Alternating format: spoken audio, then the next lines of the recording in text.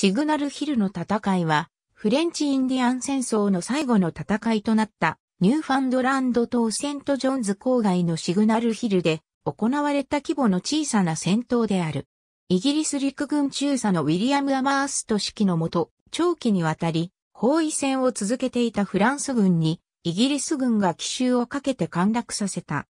1762年までの8年間、イギリスとフランスはヨーロッパと北アメリカで戦いを続けてきていた。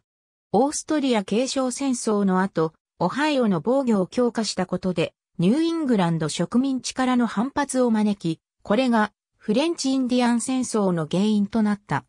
北アメリカでの英仏対決はその後激しさを増し、1759年にはヌーベルフランス植民地の中心都市であるケベックがイギリス軍により陥落した。しかし、ここに来て両軍とも和平協定を検討するようになっていた。イギリス軍が長期にわたりフランス植民地沿岸で海上封鎖を行っていたのがフランス本国の経済には打撃となっていた。また、各地のフランス植民地への海軍の支援も不可能となり、多くのフランス艦が相手に拿捕されていた。海軍を立て直すためにも、戦闘を一旦打ち切って和平交渉を実現させた上で、ニューファンドランド奪回の遠征をするべきであるという考えがフランスにあった。ニューファンドランドは英仏両国、そして南欧にとっても経済活動の特にニューイングランドとイギリス本国には不可欠な存在であった。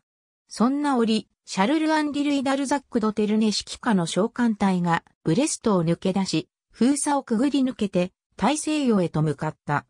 1762年6月27日、伯爵ドーソンビューの指揮下にあるフランス軍がイギリス軍にセントジョンズの開城を迫った。その後数週間、ドーソンビューはテルネの下でニューファンドランドでのフランスの地位を固めていった。シグナルヒル周辺の大砲装備と前哨とによる防御手段は周辺地域を支配する上で不可欠だった。カボットタワーがそびえる現在のシグナルヒル9月13日、セントジョンズから数キロ北にある東米にイギリス軍が上陸した。テルネとドーソンビューはイギリスの前進を阻むことができず、防御のため文献隊をシグナルヒルの無防備な頂上に送り込んだ。9月15日の明け方、フランスが占領していたシグナルヒルをイギリス軍が登っていった。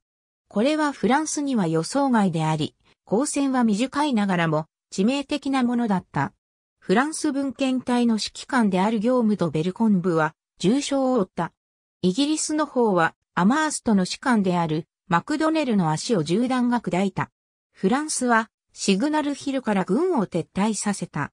戦闘が終わり、シグナルヒルはイギリスの手に落ちた。この冒険的な戦いが功を奏して3日後、イギリスはセントジョンズをフランス軍から取り返した。